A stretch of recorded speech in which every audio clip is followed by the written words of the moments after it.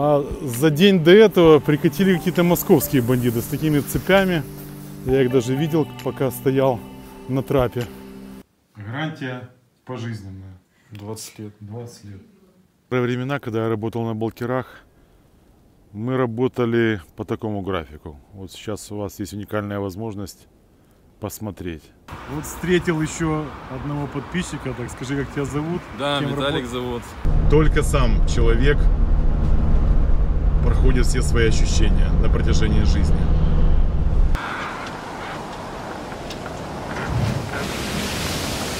У нас в городе снежный апокалипсис.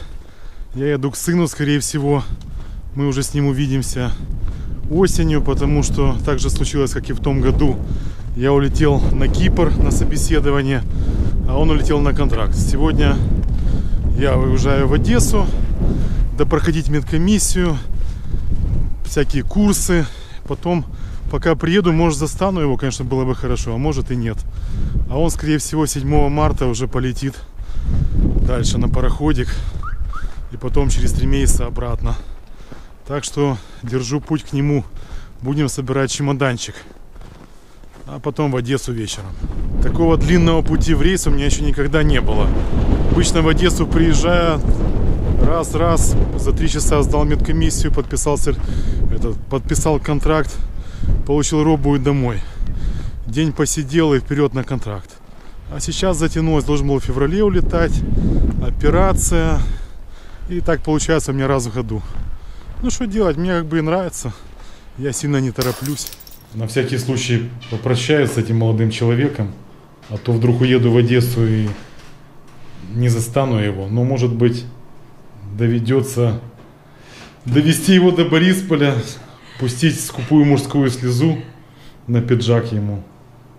Да, Санек? На пиджак с белой рубашкой и брюками, в которых придется ходить. Да, будет, будет этот человек ходить на ужин, на завтрак с французскими капитанами. Фран- как его там зовут? Франсуа Франсуа. Ле, Ле Рошель? Ля Рошен. Ля Рошен. Франсуа Ле Рошен. Ладно, я же ты поехал, радуешься? я поехал в Одессу. Когда я уже дождусь Я радуюсь, то, что я езжу в Одессу, меня не забирают в рейс. Вот поэтому я радуюсь. Там же те люди в комментариях пишут какое-то плохое состояние. Где у меня? Находиться дома, а не в рейсе. А, ну не знаю. Это люди, которые с радостью летят в рейс. Можешь без такой напыщенного голоса говорить? Ну. Я к этой касте не отношусь, таких людей. Вечно читает с листа, ничего сам придумать не может. Убери лист, я тебя прошу. Лист. Сань, все из головы придумано. Конечно, это все эта фраза была написана женой его. Все, давай. Что, что это? Завтра отправляюсь в Одессу, завтра подъеду. Я надеюсь, со второй попытки медкомиссию пройду. Пару дней похожу на курсы и потом вернусь обратно. Ну что ж, как всегда, путешествие начинается с вокзала. Взял билетики в свой вагон.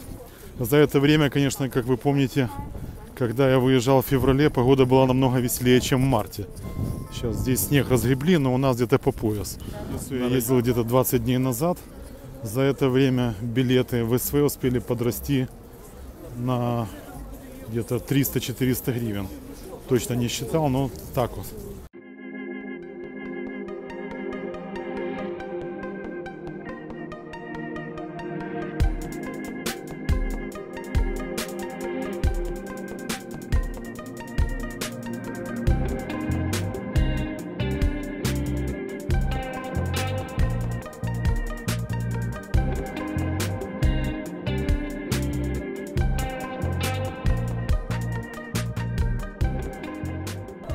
Привет, Одесса, во второй раз. Ну, как вы помните, 20 дней назад я приехал, было темно, а сейчас уже светло.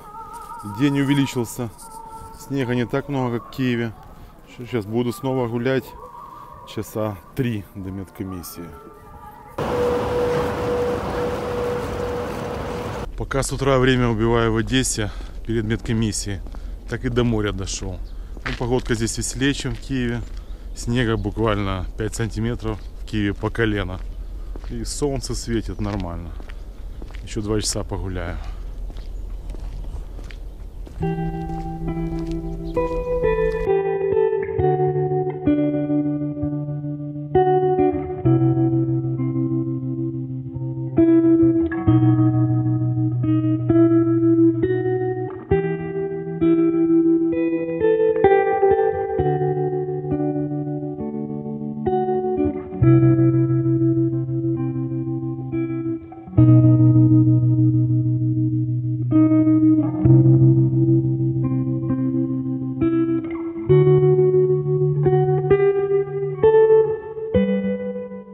Времена, когда я работал на Балкерах, мы работали по такому графику. Вот сейчас у вас есть уникальная возможность посмотреть. Тишина. Стояли по 10 дней в порту. Все выходили в город. Может это потому, что здесь так все вяло происходит. Хотя и контейнер тоже стоит. Ничего не выгружает, не загружает. На танкерах такого нет. Все бегом. 24 часа, ну, может быть 30, 36 максимум.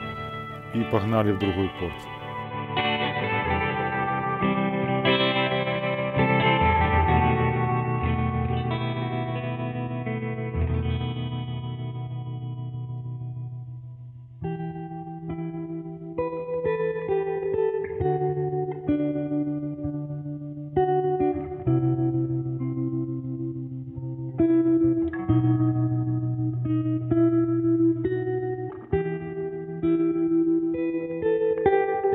Как недорого эта медкомиссия.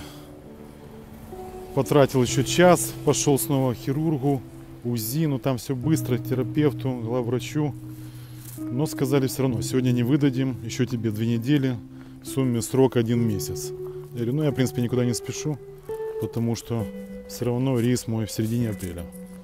Там взяли другого стармеха, пароходик, можно сказать, ждет меня, ждет новый пароход. Ну все, пошел я на курсы, сейчас предварительно зайду где-то вареничков съем. Вроде бы день так более-менее удачный. Но все равно очень-очень долгий путь. Ну, как вы заметили, последние четыре контракта, мой месяц это апрель или май. Так получается.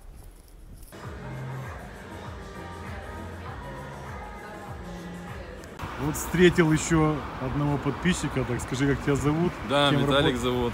Очень рад еще раз Еще раз увидеть узнают вот люди. так воочию. Ну давай, передавай пожелания. Пожелать хочу всем морякам самого лучшего и, как говорится, там 7 футов под килем. Ну и хорошей работы, ну и хороших денег. Ну, Тебе также, чтобы ты в будущем устроился на хорошие пароходики. Ну, это обязательно надо. По-любому. Сегодня собеседование прошел, да? Нет, я прошел еще и раньше. Молодец. А Сейчас уже так еду, уже думаю, звонить не буду, буду приеду лично. Побеседую с одним, с другим, еще сейчас зайду ко всем. А там посмотрим. Ну и что, пока такой сезон, Так, Как ну, бы- а я- а я поехал обратно, потом в третий раз приеду. да. Ну что, тогда земля круглая, до встречи. Давайте еще Все, раз. счастливо. Придется мне ехать в Одессу в третий раз, потому что на курсы меня не записали, медкомиссию на две недели перенесли. Ну ничего, возвращусь в Киев, провожу сына и потом третий раз в Одессу. Очень долгий путь у меня в этот раз. В середине апреля улечу. Все растаяло. Я купил билетики на VIP Автолюкс. Подъеду пол одиннадцатого вечера домой. Сейчас иду в центр города, перекушу немного потом туда-сюда обратно и убью три часа. И все равно проходит, так хоть сына провожу в аэропорт. Он не любит никого с собой брать, но меня-то возьмет.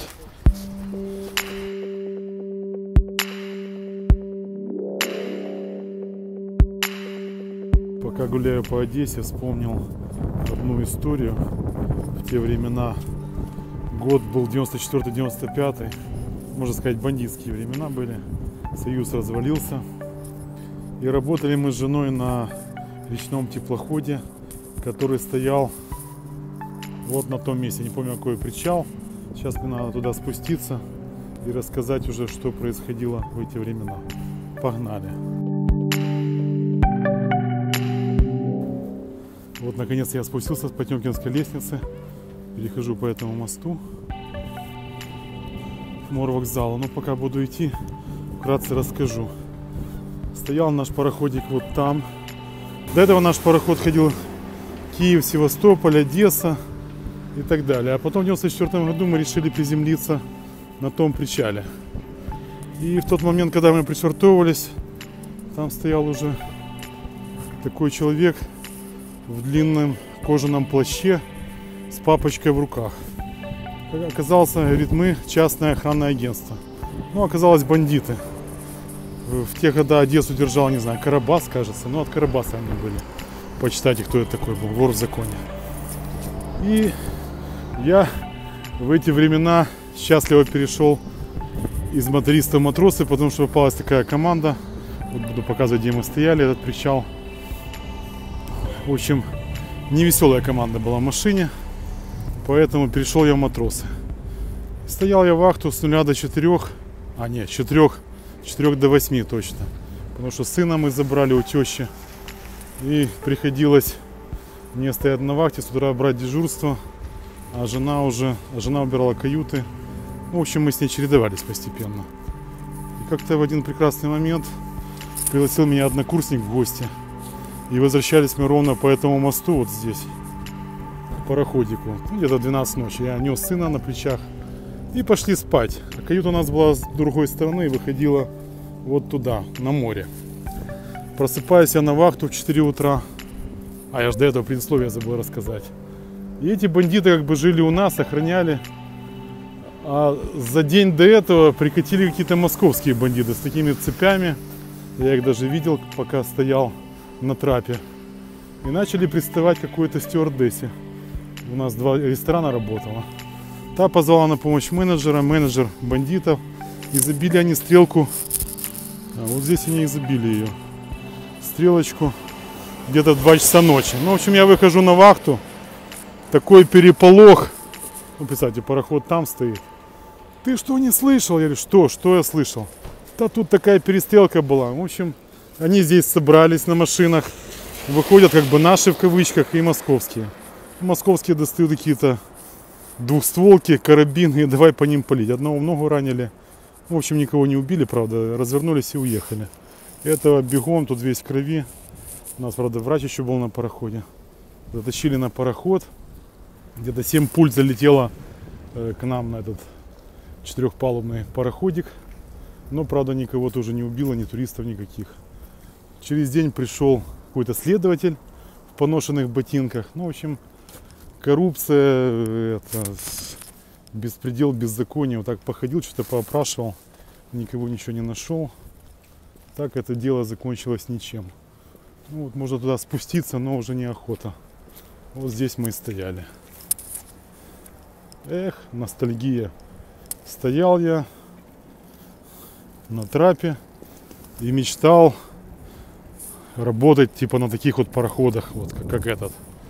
И мне выходит электромеханик какой-то, который всю жизнь на речке проработал.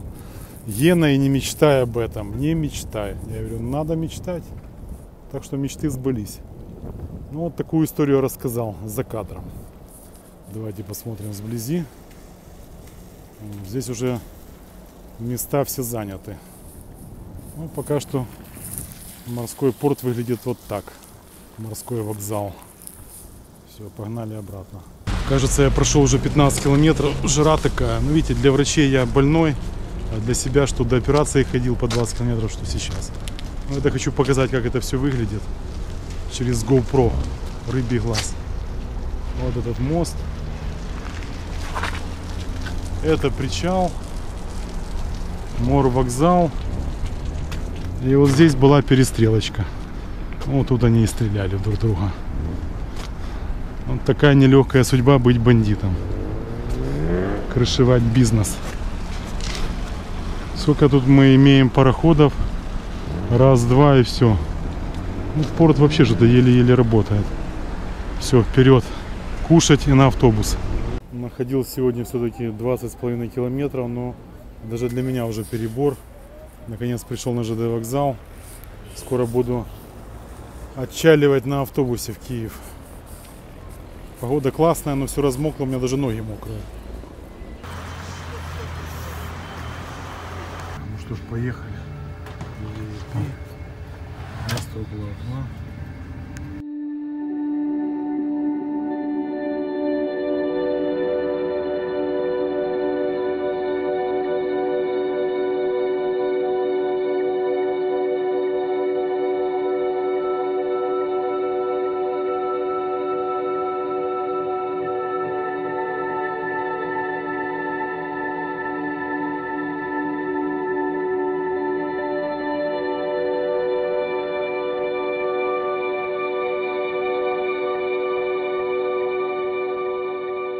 Стоит машинка моя. Жена встречает Сокровища моего сына разместились на кровати. Ну, давайте начнем еще раз с шампуня. Как, Давай. Если кто-то помнит предыдущий ролик, я говорил, что тот шампунь Григория детский был натуральный, но как видите, это была полная ложь. А что ты сейчас берешь? Ну, сейчас уже вроде как действительно натуральный шампунь, Так ты натура. бреешь, как Филипп Киркоров, из леса. Ну, сомневаюсь уже, с твоей наследственностью. Да. Волосы только на коленях растут. Что еще? Ну что, снова же витамины те же. Витаминчик. Добавился мелатонин. Мелатонин это таблеточки для сна. В этот раз протеина нет, Если спать не придется. потому что я сомневаюсь, что я буду там заниматься. Из новенького Наушники приобрел купил. себе наушники. Викинг называется? Нет, А, 3М. Викинг. Когда-то мне такие давали на пароходе. Сейчас 900 что-то- гривен стоит. Сейчас в Одессе заказывал, да? Да. Молодец. Ну и все. Надо слух беречь с молоду. Особенно механикам. Ну, Лена так маечки сложила хорошо. Маечки, Футболки трусики. надо будет выкинуть. Так, это зубные пасты, пена для бритья. Смотри, красота. Опа. Это что такое? Лен. Перчатка. Сань, что будешь Клетчатка, чтобы пищеварение нормально. Хорошо. Мочалочка. А ты что, такую мочалку берешь, да? А там еще и другая. Ну, а та для того, чтобы руки отмывать. Так, ну трусы, да и все. Вот часы. Часы Папа ж мне подарил мультитул нож, и там дешевые. часы в подарок шли. Ну, ничего, для О, машины. кстати, покажи этот мультитул. Ну, вот он лежит. Самое главное. Вот вещь для механика. На день рождения человеку подарил. Какой день рождения А вообще? на что я подарил, я не помню. Ты на что? На деньги. Нет, так какой-то праздник был или что, я не помню. А ты не можешь просто так подарить? А, Или просто так подарил? Да, Просто конечно, так. от тебя дождешься просто так. Ну скажи. Ну, пришел к тебе на 31 декабря перед тем, как ехать в контору с Леной. А, а, точно. На Новый год подарил. Вспомнил. Красота. 100 долларов, да? Да. Гарантия пожизненная. 20 лет. 20 лет. Так что Ну, ты- покупайте, господа. Ты во второго механика увидел на прошлом контракте? Жаль, нельзя с собой вручную кладь в самолет взять. Ну да. Ну, фонарик же наш. Ну, фонарик, блин, конечно, подвел меня. Чего? Аккумулятор разряжается, я хотел купить новый, но... Вот и все. А что? А? А, форма. О, для французов. А где погоны? Погоны вон. Саш, когда у тебя будет четыре лычки уже? Пока что одна. Ну, повесь. И то, надеюсь, не сорвут. А то скажет, не механик ты вовсе. надо. fired, и все. Люди спрашивали, какие лекарства с собой брать. Что там Я с собой взял лейкопластыри, сулпадеин, это обезболивающее. Мало ли голова болеть будет. Это Ну, а стриптоцин, уголь набрал? Активированный уголь 10 пачек. Это ёршики для того, чтобы брекеты чистить. Да, тут уже там. Это терафлю. Если вдруг простужусь, то хоть пару пакетов парацетамола, чтобы выпить. Чё. Кстати, э, когда-то я затупил, то ли первый контракт был. В общем, с собой ножницы вручную кладь взял. А, Ну и пришлось выкинул, выкинуть в мусорник их сразу. Ногти были такие, что... Не, ну, по-моему, мне разрешили оставить, я такую штуку для ногтей использую. Я не могу вообще этими ножницами стричь. Это если заусенец какой-то. Вот. Тоже надо поменять уже, блин, ей 300 лет в обед. Ну и все, заканчиваем. Настало утро 9 марта. Сын мой летит на контракт сегодня. Погодка не веселая, туман везде, но самолеты летают. Будет лететь он на трех самолетах. Киев, Париж, Париж, Панама-Сити, Панама-Сити, Санто-Доминго. Погоду, соответственно, смотрите на экране. Меня много молодых моряков спрашивали, что брать, как лететь. Смотрите погоду и летите. И смотрите, когда вы прилетаете. Если он прилетает летом, значит надо одеваться по-летнему. Какое у меня было настроение, когда я летел на контракт? Смотрите в фильме «Три неприятных момента для моряка». Ссылочка будет сверху. Вчера сложил чемодан и забыл купить спасатель. Мы ему вечером прикупили в аптеке. Очень нужная вещь, особенно для механика. Я рассказывал, какие случаи бывают. Смотрите морские истории. Вот и он. Здравствуй. пожалуйста. Шел Саня, не взял меня даже. Что делать? Так самому, кстати, легче улетать. Так рассуждать, легко улетать в рейс, нелегко. Когда сам только прочувствуешь, вот тогда. Я даже его сейчас понять не могу. Сам буду улетать, мне тоже будет так же грустно. Потому что не видишься с семьей, с люби- любимой девушкой и так далее. Все, поехал я дальше. На этом мы завершаем серию. Проводил сына. Сейчас еду в гости к однокласснику. Еще гуляю полтора месяца. Ну, чтобы вам не скучать, кто первый подпи- зашел на мой канал, смотрите, как я 136 серий провел на борту. Это каждый день моего пребывания. Ссылочка будет здесь. И также смотрите морские истории, я рассказал каждый контракт, как мне было грустно улетать, как было на каких-то контрактах очень грустно, но я это все выдержал. И самый приятный момент это возвращение домой. Я не устарю, не устану это повторять. Некоторым нравится улетать, мне не нравится тоже. Я честно говорю. Все, до следующей встречи. Часть третья будет, когда я поеду в Одессу и наконец пройду это все. Потом посмотрю, на какой пароход я попаду, ради чего это я все терпел. Пока еду, еще мысли в голову пришли, что каждый человек приходит в этот мир один и уходит один. Я вот ему сейчас сопереживаю сыну, но все равно я это даже сам не чувствую, потому что я сам не улетаю. Так же, как я когда-то один раз прилетел, а его забрала скорая помощь, ему вырезали аппендицит. Потом жену возил на операцию. Я это тоже им сопереживал, но сам я это прочувствовать не мог. До тех пор, пока вот сейчас меня, смотрите предыдущую серию, ну и это я сам согласился по, на операцию по удалению желчного пузыря. Когда меня раздели, положили на больничную койку, там я еще думаю, хоть бы не перепутали бирки, а то не то вырежут. И ты лежишь, потолок смотришь, думаешь, а может на тебя наркоз не подействует, а, а придешь ты в себя, нет, в реанимации, это как-то, ну, стрёмно становится. И это ты сам, вот, все, ты сам это прочувствуешь. За тебя никто не прочувствует. Так что только сам человек проходит все свои ощущения на протяжении жизни.